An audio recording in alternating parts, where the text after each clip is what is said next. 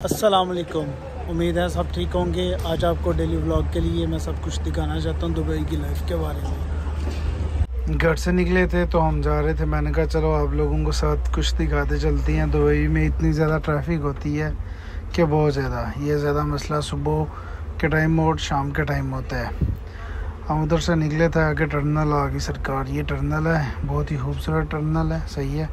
वहाँ से निकले, हम जा रहे थे। अब हमारे रास्ते में आते वक्त हमको एक प्लेन नज़र आया। मैंने कहा, चलो, आप लोगों को भी दिखा दूँ, नज़र आया कुछ।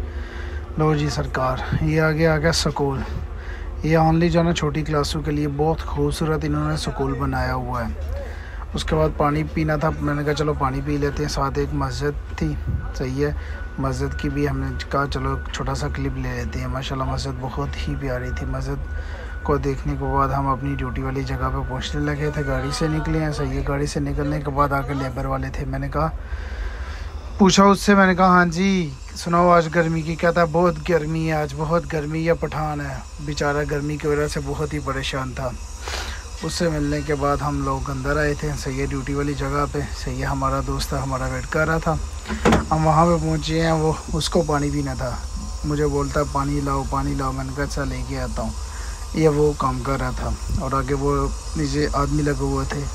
साथ ही एक होम वाला भी खड़ा था, सही है होम वाला मेरी तरफ़ देख रहा था, कह रहा था टिकटॉक बना रहे हो? मैंने कहा, नहीं यार, ऐसे आवाज़। ये फोरमैन खड़ी हैं, सही है, ये काम चल रहा है।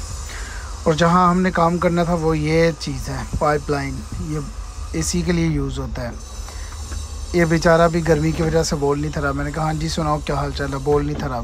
मैंने कहा, चलो, ठीक है भाई, जान, ना बोलो। आगे एक भाईजान लगे हुए है, ये देखो। ग्राइंडर चला रहे हैं, अगर इसकी आँख में चला जाए, इसकी आँख तो ख़राब हो जाएगी ना। लेकिन क्या कर सकते हैं, परदेश की लाइफ है। मजबूरी है, इंसान मजबूरी में पता नहीं क्या क्या करता है।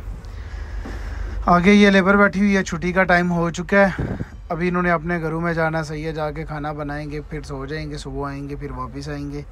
अभी ये भाईजान एक लोड उठाने लगे हैं, ये आगे लेके जाएँगे। वैसे भी रात का टाइम हो रहा है। उसके बाद ये देखो, ये पठान लोग हैं, इनको भी छुट्टी हो गई है और ये अपना सामान समेट रहे हैं। समेटने के बाद इन्होंने भी तैयारी कर लेनी है, वो सामने सिक्योरिटी गार्ड भी खड़ा है। उसने इनकी चेकिंग भी कर दी है।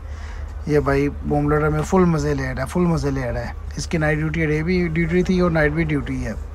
इसको कोई काम नहीं है, कोई इलम नहीं है। क्या करना है, क्या नहीं करना सही है और ये हमारी पाइपलाइन है।